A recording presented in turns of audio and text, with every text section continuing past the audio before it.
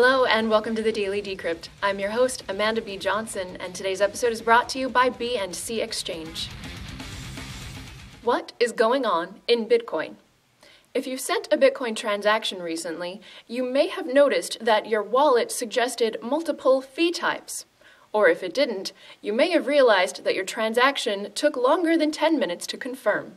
This is because the majority of nodes and miners in Bitcoin currently choose to cap the number of transactions they're willing to process at a time. In data size, that cap is currently 1 megabyte per 10 minutes. Bitcoin Improvement Proposal 101, or BIP 101, is a software patch that would increase this 1 megabyte cap to 8 megabytes. The software used for both mining Bitcoin and hosting full copies of its ledger is called a reference client. And a small but steadily growing number of players in Bitcoin have switched to the reference clients Bitcoin XT or Bitcoin Unlimited. The Bitcoin XT client supports an eightfold increase to an 8 megabyte cap, while the Bitcoin Unlimited client supports any block size and lets users set their own cap if they wish. In other words, both clients are compatible with BIP 101's 8 megabytes, while Bitcoin Unlimited is compatible with any block size. BIP 101 will take effect if and when 750 blocks out of 1,000 are mined which support it,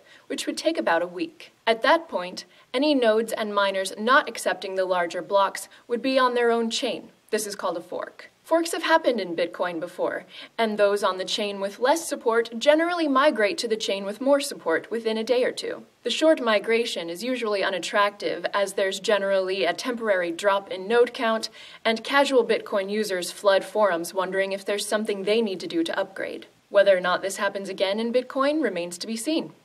If you are a node or a miner who is interested in running Bitcoin XT or Bitcoin Unlimited, there are instructional guides posted in the description below. If you're a casual Bitcoin user, as always, your vote is cast by which cryptocurrency or cryptocurrencies you choose to keep your wealth in. If you have additional questions or insightful comments, do leave them in the comments section so that we can all assist one another in making better decisions. Today's episode has been sponsored by B&C Exchange, which upon launch will eliminate single points of failure. Funds traded there will be held in multi-signature addresses, and arbiters' keys will be kept on the B&C blockchain.